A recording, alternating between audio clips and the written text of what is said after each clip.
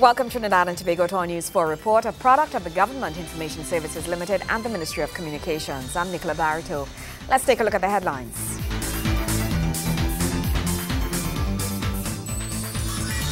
A full restoration in water supply to affected areas expected over a 24-hour period, according to WASA. A sharing of expertise between the Trinidad and Tobago and U.S. military bodies as Black Hawk helicopters arrive for joint training and more than 2,000 Youth Training and Employment Partnership Program trainees graduate. Thank you for joining us. Emergency repair works to the ruptured 48-inch Caroni North transmission main located along the westbound lane of the Churchill Roosevelt Highway in the vicinity of Trincity Mall continued overnight. According to the Water and Sewage Authority, the repair works are expected to be completed on Thursday at midnight with a full restoration in supply to affected areas expected over a 24-hour period in accordance with established supply schedules. The main was ruptured during piling works being undertaken by a contractor hired by the Ministry of Works and Infrastructure at around 2.30 p.m. on Wednesday. Areas affected include parts of North and East Trinidad. An estimated 300 to 400,000 consumers in North Trinidad have been negatively affected by the rupture of the 48-inch ductile iron Caroni North transmission main.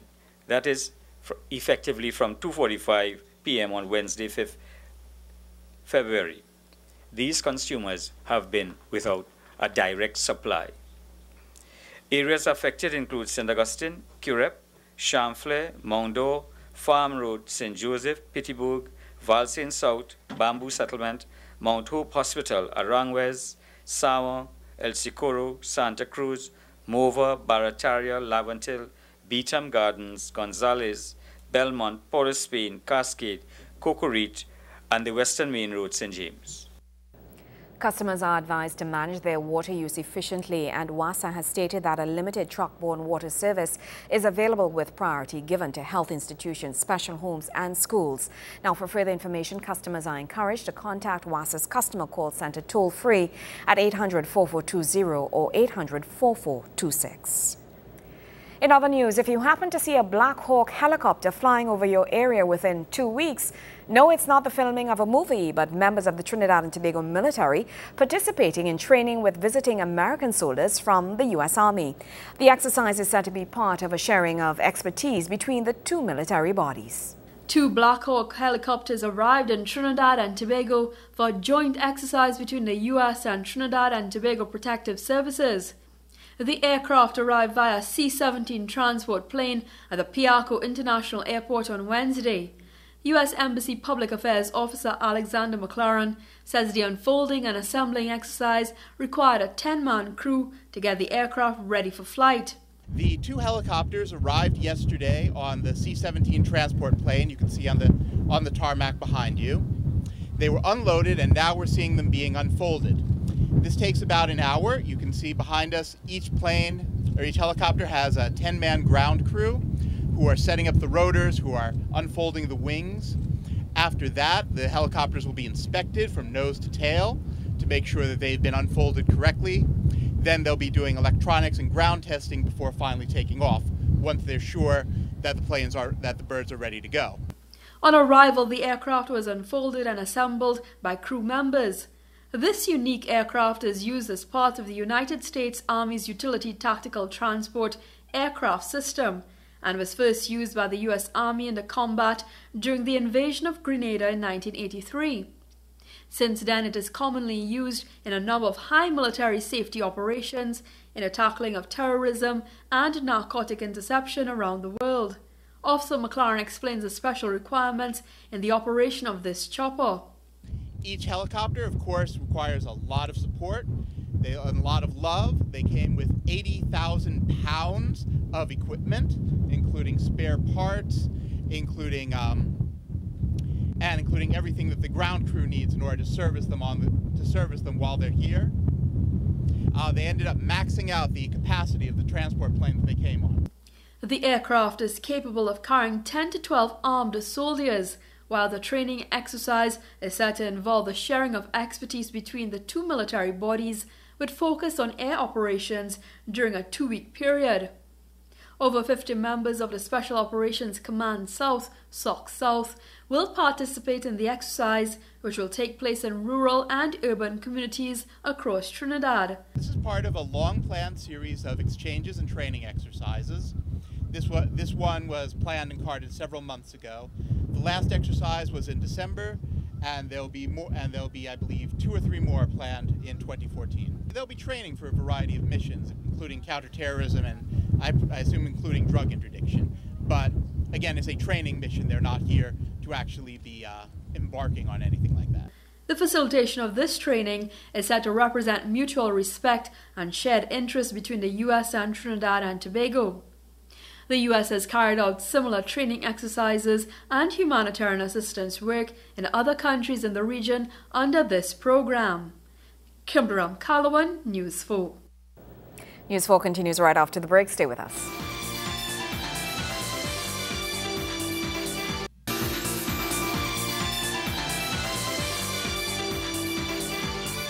Minister of Local Government Senator the Honorable Marlene Coudray is calling for the Elections and Boundaries Commission to have greater powers in the overseeing of election campaign financing. As debate in the Senate heats up on whether legislative framework should be introduced to govern the financing of election campaigns, Senator Coudray says, firstly, the remit of the Elections and Boundaries Commission needs to be reviewed. Addressing the House in a recent Senate sitting, Senator Coudray is questioning the validity of the EBC in currently ensuring election campaign financing obligations are met. To oversee campaign financing, it may be useful to strengthen the Elections and Boundaries Commission, has also indicated, and they must have the powers to tighten controls on spending by parties and by candidates, substantially strengthen their powers in the area of transparency of donations. Mr. President, you, in terms of the, the EBC's rules, $50,000 the limit is the limit for a general election and 30,000 for a local government election. But we just have to look around at what happens during our local campaigns, and we know that it is a joke in terms of the cost of things now, and in terms of the the skill of our local politicians to always clinically submit these reports to the EBC saying they have, after elections, certifying that they have spent $50,000 and $30,000 respectively on an election campaign, and we know differently. While she sees the need for legislation to govern election campaign financing, Senator Coudray says the legislation may possibly infringe on citizens' constitutional rights. Legislative measures on campaign financing must respect the constitutional rights of party members to contribute to the party to which they belong. Legislative scrutiny of campaign financing should not be done in a manner which contradicts the enshrined provision of our Constitution. And Mr. President, one such provision at Section 4 of the Constitution gives citizens the fundamental right as a citizen to be a member of a political party.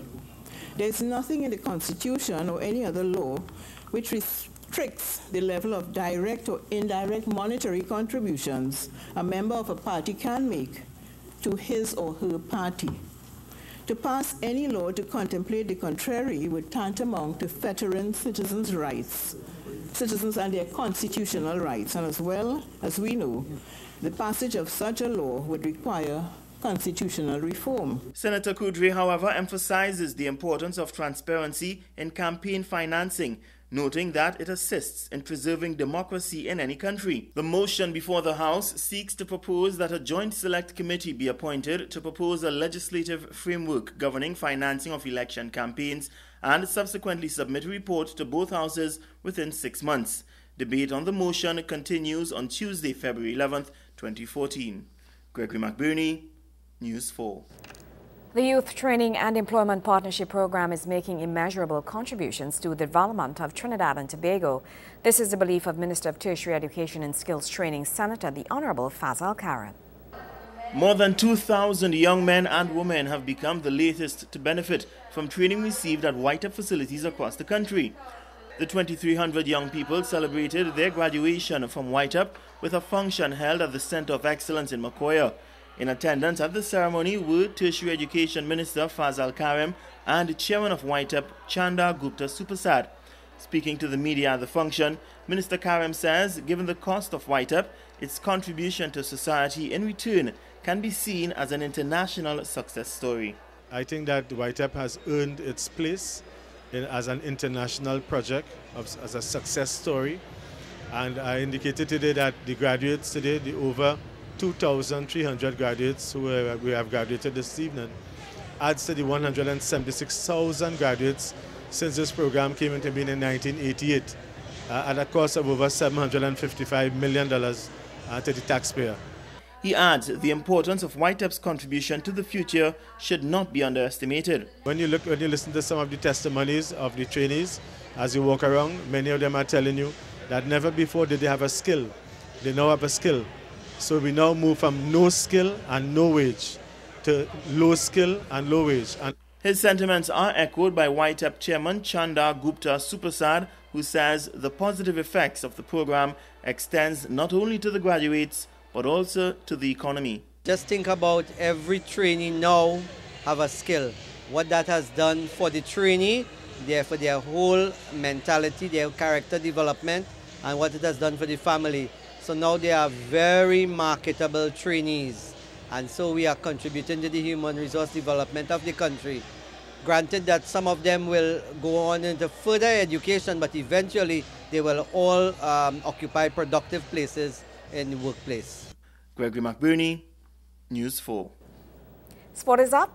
Stay with us.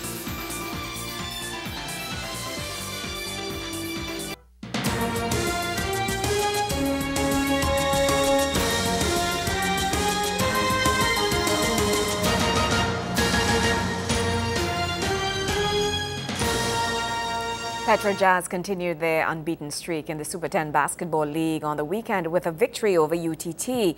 The come-from-behind win was inspired by national point guard Pascal, who finished some profitable fast breaks, as you will see in this Wayne Cunningham report. In the first match of a doubleheader in the Super 10 Basketball League at the Southern Indoor Sports Arena in Pleasantville, San Fernando, JCW Quarters United fell to their second loss in 48 hours. After losing 103 to 77 to Valencia Heat on Saturday in Maloney, the Southerners were pipped by police on Sunday 93-92 in a very competitive match.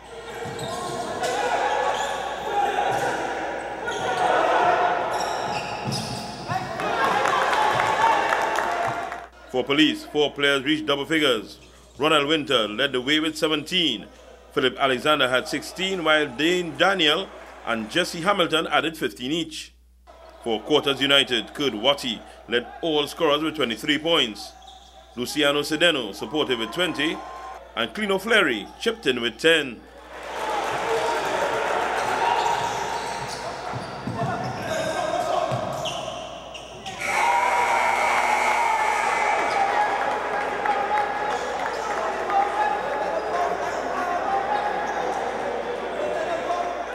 In game two, the talents of point guard Adrian Joseph and forward Ako Pascal helped Guy Petro Jazz to their seventh consecutive win in as many matches. Jazz defeated the University of Trinidad and Tobago 90-70.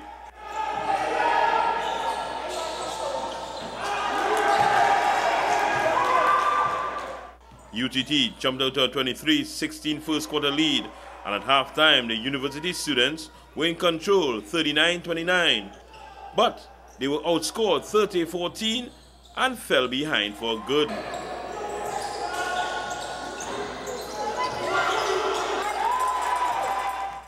For Petro Jazz, Pascal scored 24 points and Joseph 23. For UTT, Lazaro Campbell led with 14,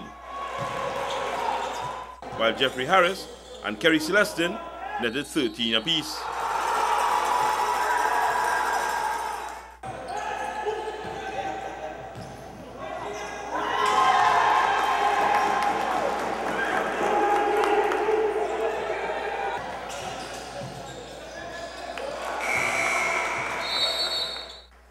The are now third on the 13 team table with 14 points, two behind leaders Caledonia Clippers and one adrift of UTT. But they have played two games less than their opponents, who have lost two and three games respectively.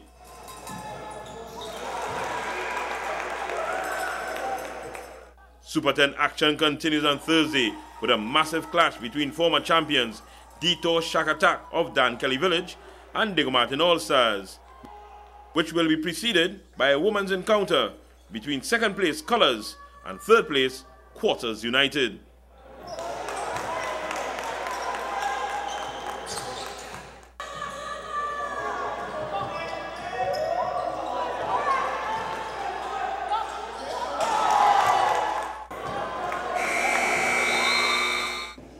Wayne Cunningham, News 4 Sports. More news after the break. Stay with us.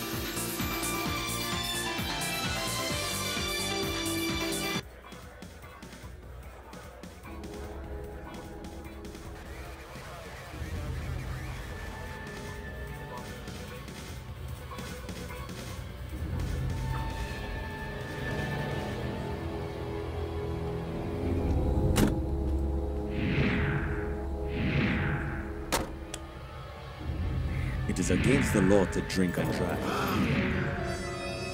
When you are caught, you are liable to pay a fine of $8,000 or face up to three years imprisonment. Don't make this happen to you. Do not drink and drive. Crime affects everyone. So it's time for all of us to do our part. Join with us and get on board in the fight against crime. Are you on board? This is my country and I'm on board. This is my country and I am on board. This is my country and I'm on board. Crime prevention is everybody's business and I am on board. A partnership is important to the police service. I'm on board. Get on board. I am on board. We are on board in this fight against crime. I am Mangal Patata. I am on board. So you report, we support, and I am on board. I am a fisherman. Crime prevention is also my business. I am on board. I am Imam Hamza Muhammad. Crime prevention is also my business. So me, I am on board. We are partnering with the Trinidad and Tobago Police Service in the fight against crime because crime prevention is everybody's business. Join us. I join with the police in their fight against crime. Are you on board? We are all on board.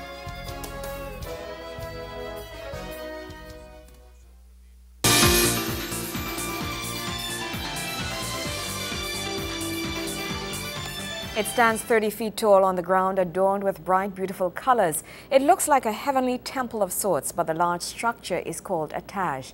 The Hosay structure was unveiled at the National Museum and Art Gallery by the Ministry of Diversity and Social Integration in collaboration with the Arts Coalition. With this project, the Artist Coalition of Trinidad and Tobago has begun to build something monumental that should and could outlive us all.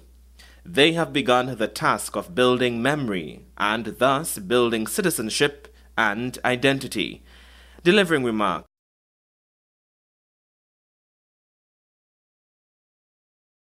says the Taj is the enchantment of Trinidad and Tobago. It is about the magic of this place. It begins with the magic of this island, uh, where bones were found in San Fernando, just off San Fernando, the Banwari man, which establishes our civilization here as 7,000 years old, the oldest human civilization recorded in this part of the world. It begins with the magic of, of, of that journey, of that claiming of the land, of that human interaction, and whatever magic that that bestowed upon this place. He says there is something divine in the space that has enabled Trinidad and Tobago to be the festival nation that it is, and to be the people that we are. What we have is genius individuals who have persisted because of their own individual memories in particular forms and because of them, they have brought these gifts to us through the centuries and em embroidered it with other gifts. So the Hosay Taj, the Trinidad Hosay Taj is a mixture of Ramlila effigies and um, African mask and all of that with traditional Hosay Tajas as well as the carnival costumes are Hosay Tajas mixed with Ramlila effigies, mixed with African masking each one of those artifacts, we do three large artifacts in Trinidad and Tobago Ramlila effigies, Hosay Tajas, and King and Queen of Carnival costumes. Addressing the gathering at the unveiling ceremony, Minister of Diversity and Social Integration, the Honorable Rodger Samuel, made a call for the return of old time traditions. I remember one calypsonian singing, saying, that, that we must record how much ounces it takes to make a tenor pan and, and, and, and the art of making it. And, and we have to record those things so that it, it is not lost because so many of our, uh, our, traditions are being lost. Uh, uh, people buy a kite now when in my days there was nothing as buying a kite, but there was the art and the glory of producing your own kite and cutting up your mother sheet and, and, and, and, and, and, and, and, and stealing flour uh, uh to make you know glue and, and, and making sure it's boiled and there was an art how long to, to boil it for and how to stir it so that it doesn't you know overboil and there was the art of all these things that I grew up with. He said all these things need to be penned properly so to ensure it is not lost and its legacy lives on. Joseph Lopez, News 4. Well, that's how we wrap up this edition of our News 4 report, a product of the Government Information Services Limited and the Ministry of Communications. I'm Nicola Barreto. Thank you for joining us.